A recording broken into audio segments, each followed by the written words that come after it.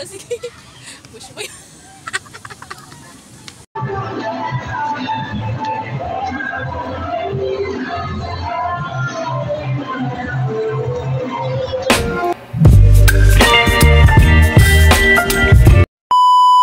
Hello guys! Welcome back ulit dito sa akin channel. At kung bago ka pa lang dito sa akin channel, ako nga pala si Mami Michelle. Sana huwag kalimutan mag-like, comment, and subscribe. So ayan mga mi, maagang maaga pa nga lang ay lumabas na kami ng bahay kasama nitong mga pinsan niya at yung sister ko. Dahil nga pupunta kami dito sa may Glorieta Park ng Tala. Kaya naman ayan, patawid na nga kami dahil papasok na kami dun sa may park. At yan, pagkapasok na namin ay napakadami na palang tao. Dahil nga meron din palang ganap dito. Kaya tuloy pagkapasok namin ay napagkamalan kaming kasali kami dyan. Meron yatang bigayan ng ayuda dito, napakadaming tao. Kaya tuloy muntik na ako napauo, kasali kami. Siyempre bigayan ng ayuda yan, magpapahuli pa ba tayo? Charot. Kaya naman ayan, pumasok na nga kami dito sa may mini park nila. At ayan, papakita ko nga pala sa inyo ang court nila. Grabe, ang laki oh daming tao.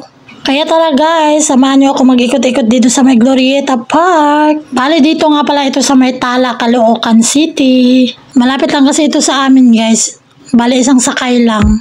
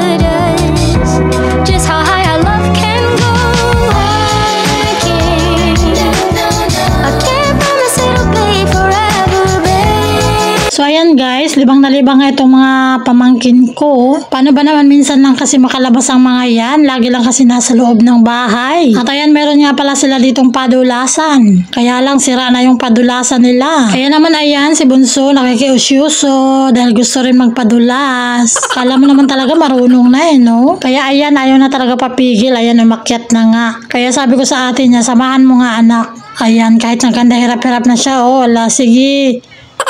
Tama lang yan para ma-ano, exercise. Sobrang excited umakyat. Pagdating naman sa taas, ayaw naman na magpadulas. Akala ko nga, natakot na. Yung pala, nalibang doon sa nilalaro niya. Yan, sige anak, ikutin mo nang ikutin yan lahat. Yan lang pala ang gusto niya, ayaw pala mag-slide. Ano ba talaga anak?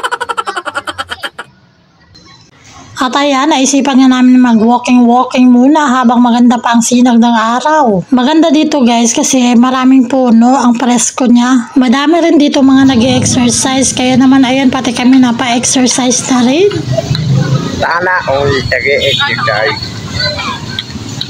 Aba, itry nga rin natin mag-exercise nang mabanat-banat naman itong mga buto natin. Puro na lang kasi dot-dot, kaya daliri lang ang may exercise. Ang sarap nga sana yung ganito, araw-araw ka mag-exercise, pinagpapawisan ng maunat-unat naman ang mga ugat natin. Kaso nga parang nakakatamad naman dahil pagising mo, cellphone agad ang hawak. At pagkatapos, asikaso naman ang pagkain. Kaya wala nang oras sa exercise.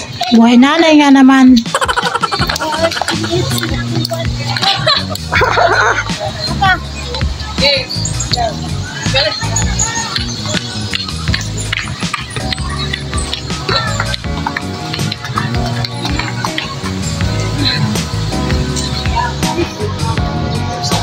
ganito mo.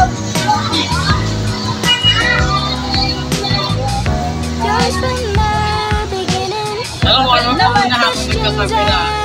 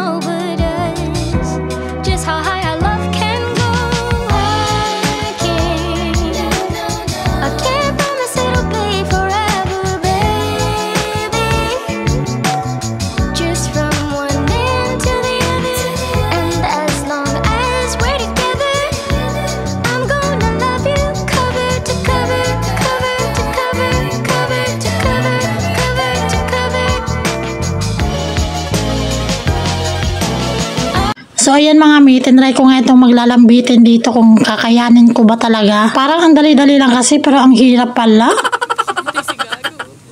Sige, push mo yan.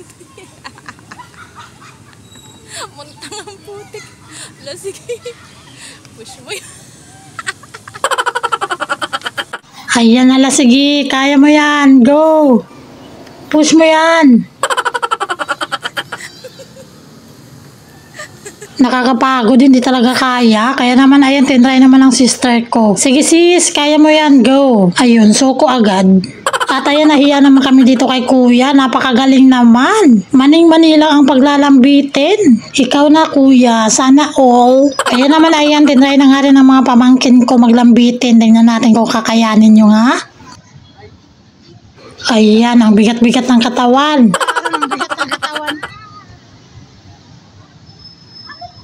Panis na panis kayo kay kuya, oh ha? Siguro lagi nag-gym si kuya, kaya napakagaling mag-exercise. Samantalang kami, kundi exercise lang, pagod na pagod na. Ganun talaga, no? Kapag minsan ka lang mag-exercise, parang pagod na pagod ka na agad. Pag uwi mo, sakit na agad ang katawan mo. Kaya maganda talaga araw-araw ka nag-exercise, eh, no? Para nababanat yung mga buto natin, nauunat yung mga ugat, at maganda rin ang daloy ng mga dugo natin.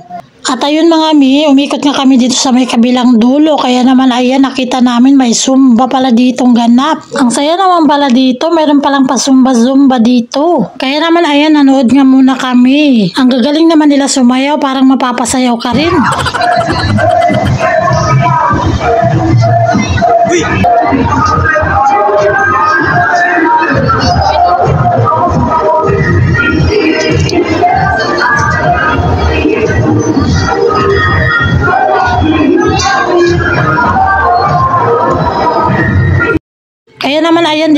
Napigilan ang lola nyo, nakisali na rin mag-zumba. Kaya tara guys, mag-zumba rin tayo para magpawisan tayo.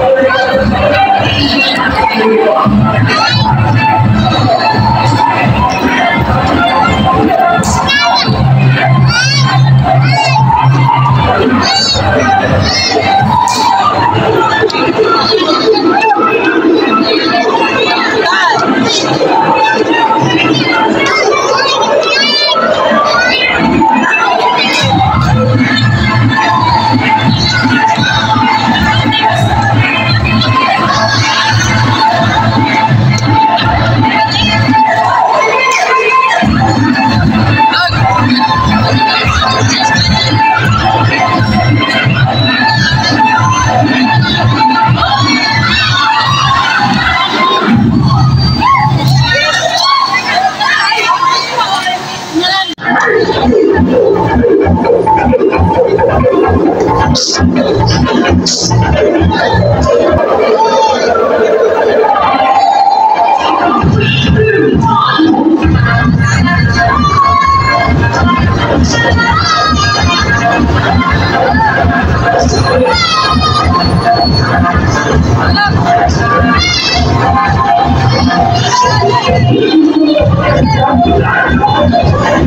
ayun mga mi, dahil nga umaambon na kaya naman ayan lumayas na kami dun sa may Zumba. Kaya naman ayan punta nga muna kami sa may court dahil nga baka lumakas yung ulan. Baka mabinat ang lola nyo, maambunan. Napagod din kami dun sa pagsusumba ah. Pawis na pawis yung kilikili ko. Maganda rin talaga ang sumasali ka sa sumba kasi nga pinagpapawisan ka. Mababawasan man lang ang kolesterol. At ayan, silungan muna kami dito sa may court. Makimarites muna tayo. Ayan, kaya pala maraming tao kasi nga may ano, libreng check-up pala. Mabuti pa pala dito may palibreng check-up ang mayor. Kaya pala napakadaming tao. Ayan, marami rin silang doktor. Akala ko talaga pila ng mga ayuda yan eh. Kaya pipila na sana kami. Charot, mukhang ayuda.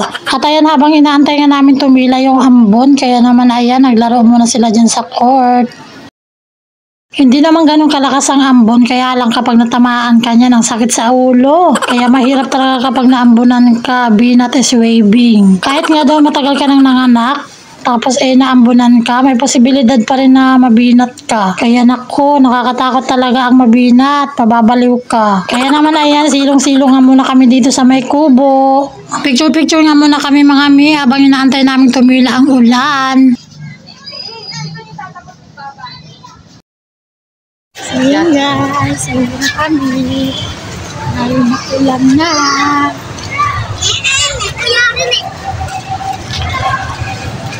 Nana, ulan na. Odong. Yada. Lutang yada.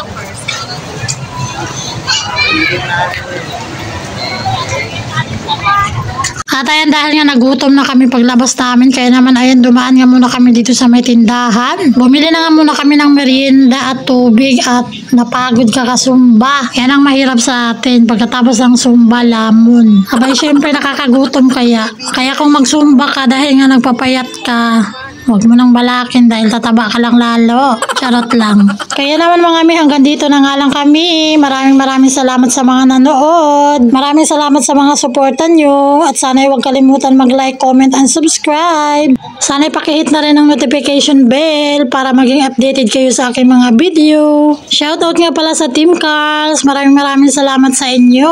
Ayun lang. See you on my next vlog. Bye-bye!